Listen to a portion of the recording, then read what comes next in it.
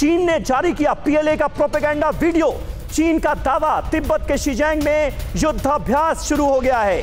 चीन ने यह दावा किया है कि long range rocket artillery drill की जा रही है। बर्फ़ से ढके पहाड़ों के बीच लाइव फायर ड्रिल किस तरह से अंजाम दी जा रही है, उससे जुड़ी बहुत अहम तस्वीरें इस वक्त टीवी नाइन भारतवर्ष पर एक्सक्लूसिवली आपके सामने।